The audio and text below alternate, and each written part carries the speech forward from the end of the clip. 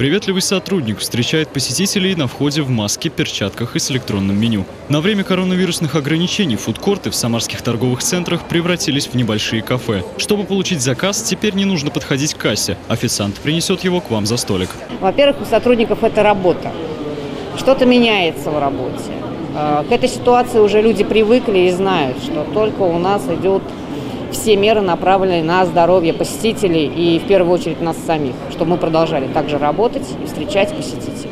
Для обеспечения социальной дистанции пространство для приема пищи разграничили. За соблюдением санитарных мер каждый день следят сотрудники районных администраций, полиции и представители Роспотребнадзора. Проверяют, как обрабатываются контактные поверхности на фудкортах, носят ли сотрудники маски и перчатки.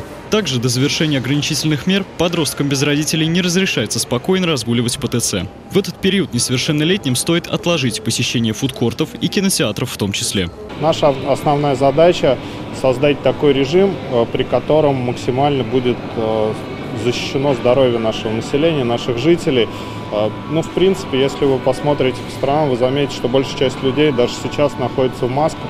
Это говорит о том, что принимаемые наши ме- э, нами меры дают результаты. В Октябрьском районе за время ограничений выявили порядка 300 нарушений среди предприятий. На сегодняшнем же рейде погрешности в работе фудбизнеса не обнаружили. Михаил Ермоленко, Григорий Плешаков. События.